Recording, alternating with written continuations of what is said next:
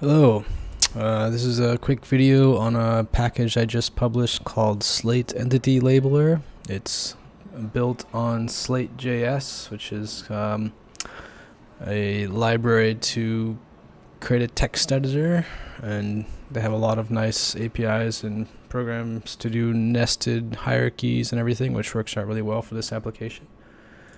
And here is the website. It's on the running on the GitHub uh, repo.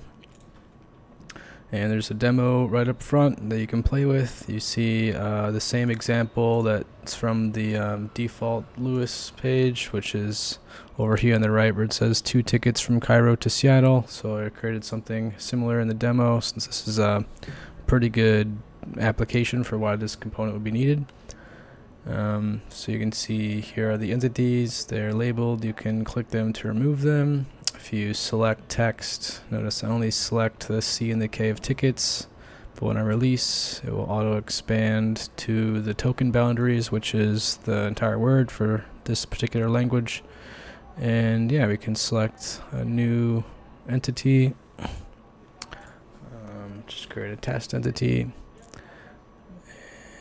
And now that token is labeled as a new entity, which we created inline, which is pretty nice. We can uh, remove all of them, and you see uh, down below in the list of labels, uh, this is the name of the entity, the start and end index, and the value of it.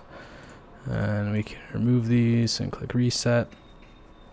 There's also a read-only mode if uh, your application has a need to display labels but not let users edit them. Notice if I check the read-only box, now I can still um, select text just as if text was disabled, but I can't uh, remove any labels or add any, so that's a nice feature. Um, yeah, it's pretty easy to use. It's uh, all the docs are online.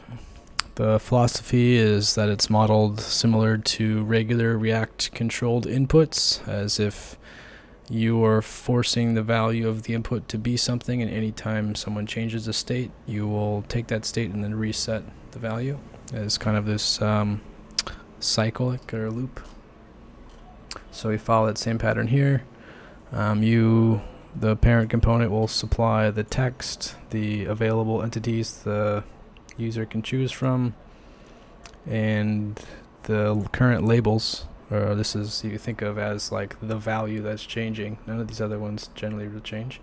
And then every time the user uh, reselects or labels or removes a label, you get this change event, uh, which gives you the new list of labeled entities, and you reset that field. Um, if you're interested in the details, you can look at uh, how the tokenization works, um, how we take the tokenized text and existing labels and convert that into uh, the representation that Slate needs in order to actually render the text. And of course, you can go directly to the GitHub page if that's what you want. And there's code here and uh, just other links. Thanks.